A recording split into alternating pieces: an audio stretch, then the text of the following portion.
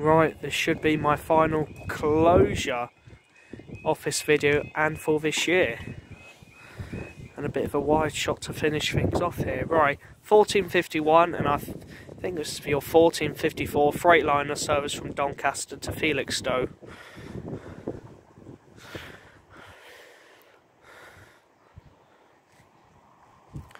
Never realised I can have this decent shot, so I'll use it for this closure. Come have a look at this. Come have a look at my camera. That's a decent angle, I think. But I'll have to turn it around when the train comes, I think. Well, catch it like that. I've seen some YouTubers doing that when they film crossings. Just leaving the angle like that. But that's a nice shot.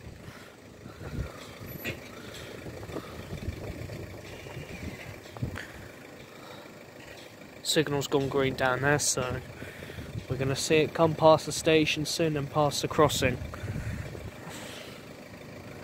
Let's see if people actually stand behind the yellow line on platform 2. I always do that when speeding trains come through. You have to stand behind the yellow line. You have to. You've got no other option.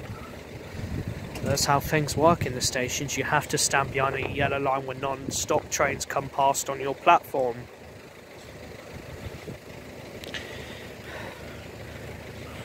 And I don't know how many days this video will be released after the time of recording. We'll just have to see. But problem is, I'm a bit busy throughout the week. I'll have to. I might start editing tonight in the evening and get an upload schedule out. I don't know if I should do it as a premiere, but just do it as a upload, and it'll, the video will be out at that time, of a specific time. We'll just have to see. But I'll begin editing tonight. To be fair, it has been a nice day coming, spotting trains, even in disappointing weather. It stopped raining now, thank goodness. Train approaching. Can't zoom in or out in this mode, fair enough.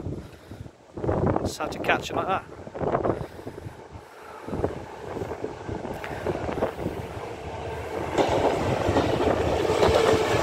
513.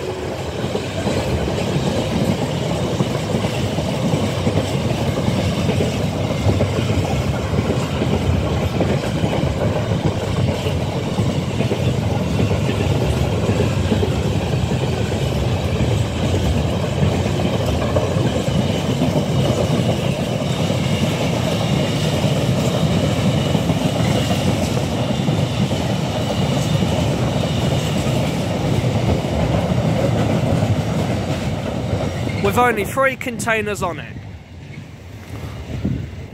as it goes off to Felixstowe. Okay, that's going to be it for this video. I'll see you guys in the next one.